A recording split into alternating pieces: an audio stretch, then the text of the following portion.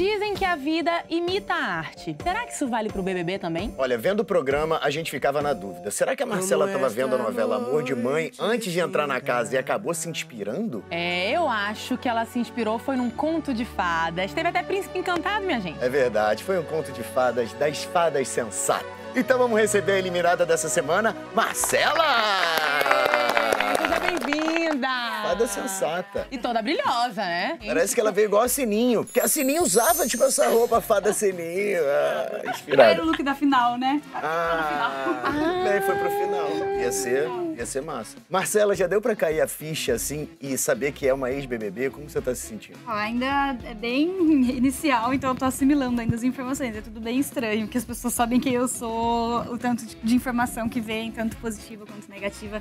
É, eu falei que a gente foi lançado numa sociedade meio Walking Dead, todos de máscara. Total. É, vai lá pro Walking Dead. Gente, é tão estranho que assim, mana, eu vou tentar te ajudar, mas não tem como, gente, porque é estranho mesmo. Agora ainda tem mais toda essa questão do, de ter esse Walking Dead aí na rua, mas pra gente que sai do confinamento é estranho de qualquer jeito. Mas fica calma, vai dar tudo certo e a gente vai te ajudar, não vai, Bruno? Ah, é por isso que a gente tá aqui com a Vivian, porque ela entende bem desse rolê. E a gente tem um momento de ex pra ex.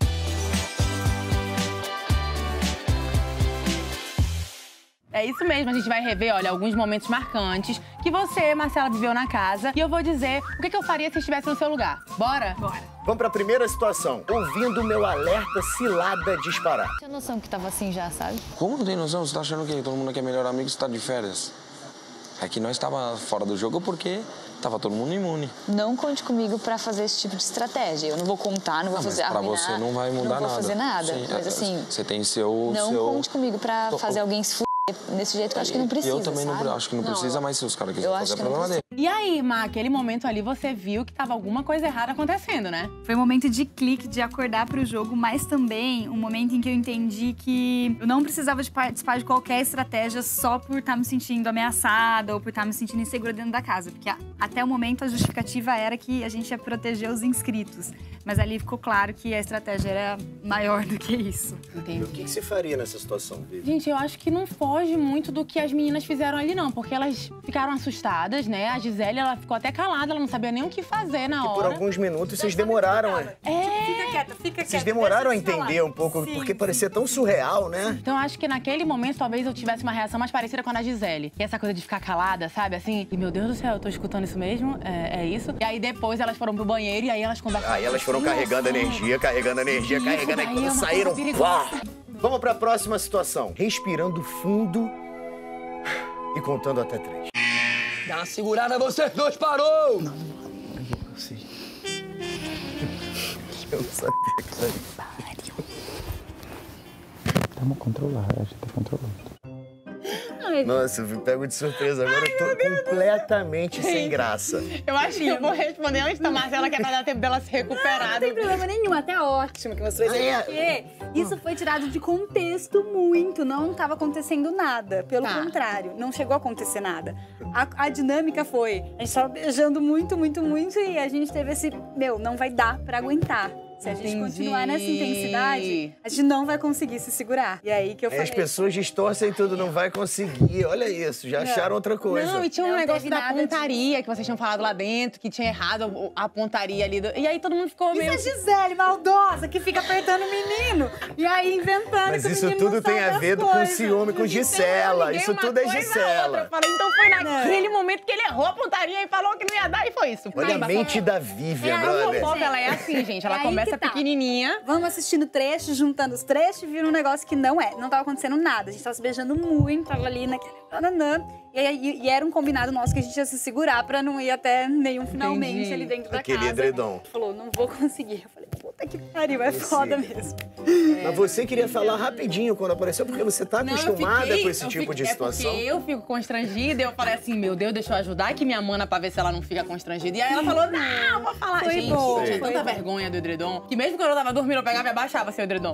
Só pra vocês terem noção que não tá acontecendo nada. Sim. Ah, porque acaba que eu ficava pensando no meu avô, no meu tio. Eu não pensava Pô, que Brasil. coisa horrível você pensar isso no meio da, da- do rally rola. É, é difícil. Pô, isso é, pra difícil. broxar A qualquer um. ali na- na- Tô lá cima. quase no finalmente, minha avó. Porra, como é que vai? Eu ficava, é morria de medo, morria de medo. Não E é é melhor nem grande? começar, porque se É, você né, começa. ficar eu olhava aqueles dias passando lá no queridômetro, 66 dias para a final, eu falava, "Sério?" Vamos pra próxima situação. Vendo um príncipe chegar num cavalo branco. Famoso já lá fora, fala. Ah, todo mundo! Sério? Sério? Loucura! É uma loucura! Todo mundo conhece a gente. Todos mundo! Você estava assistindo, então? Algumas coisas. Só a primeira semana? A gente tá confinado bastante. Não tem essa história de separar homem e mulher, todo mundo unido, tá? É, Sério, tá? Não tem desrespeito a vocês, nada disso. Muito bom. Tô falando a verdade. Olha aí, foi um, um príncipe no cavalo branco mesmo? Foi praticamente isso. A Xuxa e o Sérgio Malandro.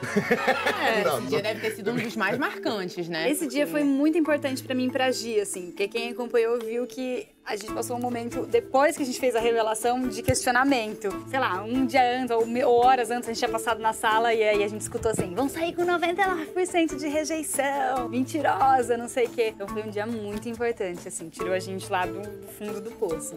Foi como ver Não, dois pra anjinhos. gente foi assim, emocionante pra também, gente. enquanto público. A gente né? gostou. Agora eu quero saber, assim, papo de comadre. Finge que o Bruno não tá aqui, ninguém tá filmando nem nada. Papo de comadre. Quando ele chegou, você já olhou pra ele e falou bem assim, nossa, que rapaz bonito, né? E já deu um clique também de que ele poderia ser alguém que... Não, não. Na hora Nada. que chegou, não. Não. Tava em um contexto muito específico. Duvido que você não olhou pra ele e falou, ah, Eu acho que todas as mulheres da casa, na situação de confinamento, pensaram, é, vocês já tinham cancelado todos os outros.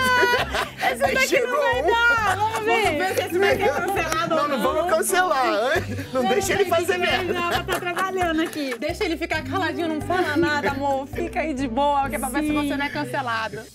Olha só, Marcela, aos poucos você vai se atualizar de tudo que aconteceu, tá? Enquanto você estava lá dentro. E aqui fora, agora, a gente vai fazer um quiz pra te mostrar algumas coisas que aconteceram e que são um pouco bizarras, vamos dizer assim. Primeiro a gente vai ver se você acerta, depois a gente conta se era verdade ou não, tá? É isso aí, vamos pra primeira pergunta, olha só. Uma mulher deu à luz a um casal de gêmeos em meio à pandemia. Que nome a família deu aos recém-nascidos? Letra A, Covid e Corona. Letra B, álcool, gel e sabão. Ou letra C, quarentena e quarentinha. Não, não pode ser nenhum desse, cara. Eu, eu- não, eu Vou esqueci. chutar o Covid e Corona, né? Gente, eu não- nenhuma das três eu chutaria numa Mas dessas. eu vou te falar, dentre as Tá três, certo. Covid e Corona é melhor, cara. Imagina achas? álcool, gel e sabão. Oi, Covid. Tem uma cantora que chama Corona, né? Pois é, Corona ainda lembra, né? Agora. É, que ela É, canta. this is the reason of the night.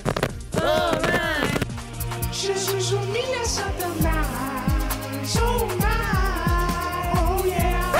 Alguns famosos estão animando suas vizinhanças com performances nas varandas. Qual dessas realmente aconteceu? A. Pyong fez uma hipnose coletiva e botou o quarteirão inteiro pra dormir logo depois do BBB. B.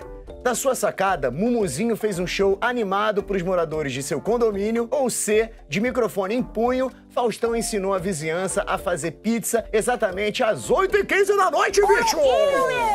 Vou chutar a letra B. É a do bola.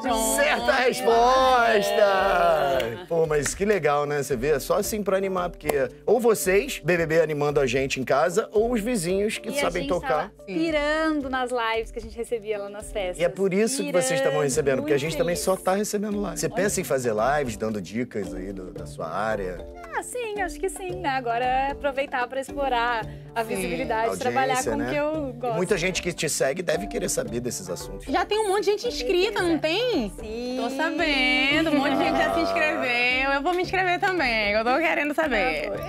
Olha só, Marcela, a primeira ministra da Nova Zelândia adotou uma medida para tornar a Páscoa da população mais feliz durante a quarentena. O que que ela fez? Letra A, mandou entregar ovos de Páscoa higienizados em todas as casas. Letra B, ela comprou os direitos de exibição do BBB 20 para dar uma animada ali na galera. Ou letra C, ela adicionou o coelhinho da Páscoa à lista dos trabalhadores essenciais com livre circulação para entregar ovos pelo país. Letra A, vou chutar, entregou. Vamos ver a resposta certa. Letra C! Ela coelhinho da Páscoa à lista dos trabalhadores essenciais. Olha isso. Marcela, agora a gente quer saber mais sobre o seu passado. É isso aí, a gente vai abrir o seu baú de fotos e você conta pra gente quem são as pessoas que aparecem ali em cada uma, tá?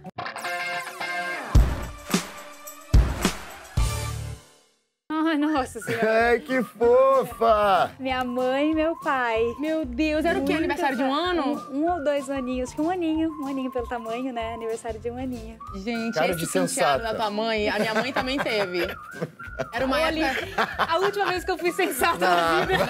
Não, para. Agora esse penteado da tua mãe, mamãe Ali na primeira usou. semana do Big Brother. tá lá. Olha, o Bruno Cris ou a menina. Tô brincando, gente. Se a gente não rir, o que, que a gente faz? Fazer o quê, né? Marcela, esse penteado da tua mãe, a minha mãe também usou. Era uma época que todo mundo usava essa franjinha e o cabelo... pra condenar, né? Era uma franjinha só aqui. Era um aqui negócio uma franjinha e aqui, uma, assim, né? aqui mais alto, né? Um topetão Ah. mais alto. E você tava o quê? De marinheira? Marinheirinha. Ai, que fofa. Fofa. Oh. Olha, mostrando habilidades musicais. Sim, minha mãe era, ela da- tinha um conservatório de música quando era pequena, então eu fazia todas as, as aulas que ela tinha lá, piano, teclado, artes, balé, fiz de tudo. Você Aí, toca algum instrumento? apresentação. A Eu mãe uma, tentou. pouquinho de piano, um pouquinho de violão, mas nada profissional, assim. Porque eu ficava lá na escola com minha mãe, ia fazendo. Nessa época, acho que eu sabia alguma coisinha. Uma música ou outra. Agora na quarentena você pode se dedicar, tem Posso tanto dedicar. tempo livre, né? Boa. Eu mesmo tô fazendo aula de violão. Mas é que eu tenho bastante coisa pra me atualizar, né? É verdade, tem Ela vai ficar 60 viciada. dias de atraso. Ela vai entrar no, no grupo de loucos por BBB, aí ela não vai ter tempo. Sim. Olha aí, primeira formatura. Formatura do colegial. Primeira vez que eu pintei o cabelo de rosa, gente, tá vendo? O E é, agora que eu vi embaixo. Da onde vem a inspiração do BBB? Primeira Pô, mas vez que eu aí você pintei. foi ousada, porque isso aí é o quê? Anos 90? É. Não, era, não eram todas as meninas que pintavam o É cabelo. verdade. Pintar com papel crepom já. Era ousada, sempre, ousada. sempre sendo uma mulher à frente do seu tempo. Sim, sim. Pintei Sua mãe liberava, assim? Sim. Minha mãe sempre foi tranquila. E era papel crepom, então saía. né? Ah, tá. Olha que galera é essa. Ah, que lindas! Nossa, elas vão morrer dessa foto aqui. Explica, quem é quem? São umas amigas minhas que eu conheci no, no nosso grupo de Tantra. E é uma festinha que a gente fez de Páscoa na casa da feira. A feira é aquela com o bracinho todo tatuado ali. E o que, que um grupo de tantra faz? Não, a gente foi para um curso de Tantra juntos, né? A gente Ah, não era um tá. grupo de Tantra, a gente foi para um O curso. grupo de... virou por causa do curso Virou de porque a gente Ah, eu achei que era um conheceu- grupo que- Não, a gente se conheceu num curso de Tantra e aí a gente acabou fazendo. Apresenta. Marcela, uma a uma. Ali do meu ladinho tá a Rô, Rosana, do lado dela, do braço todo tatuado, é a Fer, ali em cima a Lê, na frente a Tati e a Gabi.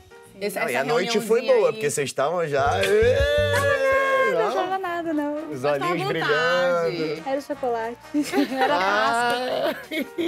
Então é isso, galera. Nosso papo chegou ao fim. Muito obrigado, Marcela. Obrigada E a você, vocês, claro, que assistiu. Se inscreve no canal, deixa seu like aí pra gente, tá? É, por favor, ó, gente, ativa aqui o sininho. Aqui embaixo pode deixar seu comentário. Compartilha esse vídeo também, tá? E obrigada, Marcela. Obrigada e parabéns amei. pela coragem, viu? Eu sei que tem que ter muita coragem pra se inscrever nesse jogo, que é louco. E olha, toda semana tem vídeo novo no canal e especialmente essa semana tiveram dois vídeos. Hoje saiu aqui com a Marcela e também tem um vídeo com a Gabi. Dá uma fuçada aí, porque tem vídeo com todos os eliminados dessa edição. Então, essa é a época certa pra você maratonar, viu? Valeu, gente. Obrigado. Beijo!